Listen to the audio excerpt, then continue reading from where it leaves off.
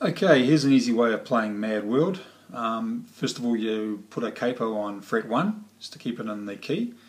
Okay, now the chords you need are E minor, which for E minor, I pretty much use my white fingers um, to fret strings 4 and 5 on the second fret. That's second fret relative to the capo. So there's your E minor. Now you go to a G from there.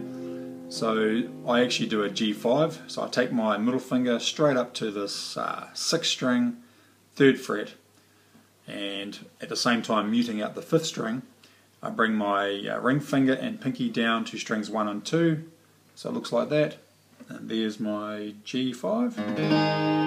Now whether you do your uh, G like this or you do a standard 4 finger G, um, that's probably an easy way of doing it for a beginner because your ring finger is already on that second string ready to go to form the D. So you leave your ring finger there, then you bring those two fingers down to form your standard D. Okay, Make sure you mute out this low E and you play either from strings 5 or 4 down. So there's your D. Now the way I form an A is I use my middle finger again to basically fret strings 4 3 and 2. I'm playing the first string open and I'm playing the fifth string open, muting out this low E again. So, so there's my A. Um, I mean, if you can get into an A uh, by using, yeah, this sort of, I can't actually do it this way because my fingers are, are too wide to be able to fret an A like that type of thing. And two fingers I can do an A, but when I do the two finger A, I end up muting out this uh, first string here, the high E, which is good for rock music, but it's not going to work for this one. Um, so that's why I use this way here, just using that middle finger, and then from from getting from the A to the E minor is just as simple as basically just lifting up and going straight into it. Okay, so let's go through that.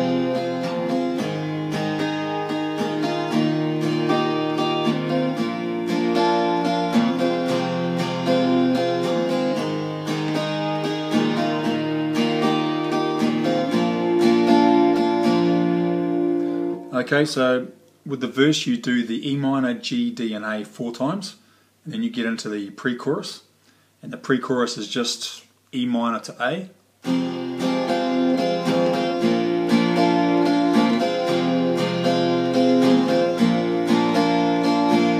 Okay, now the pre-chorus is four lots of E minor to A. Um, now when you go from E minor to A you can either lift it right off um, your uh, middle finger and go down onto the A uh, position there, or you can just like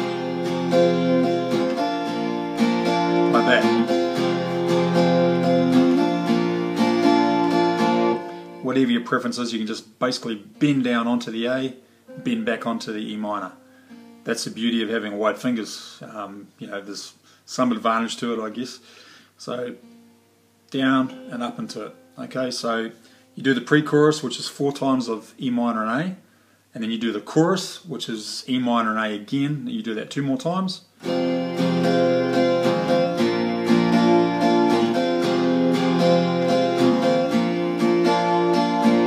Okay, and then you're back into the second verse, which is your E minor, your G, your D, and your A again.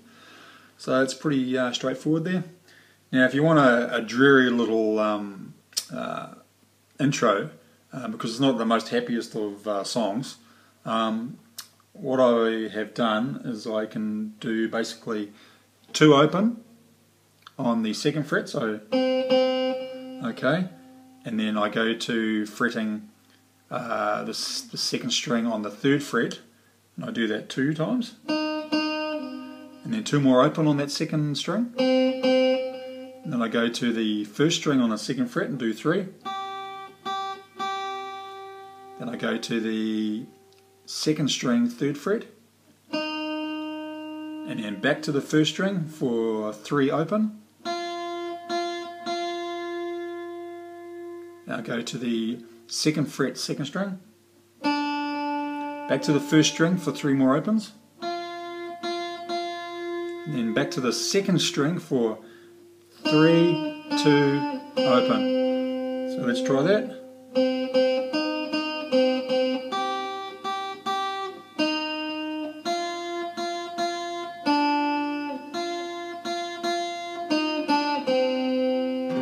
Then into the E minor. Okay, so that sets the little dreary uh, mood for the song. Alright, um, okay, so hopefully that gives you some ideas, and uh, thanks for watching.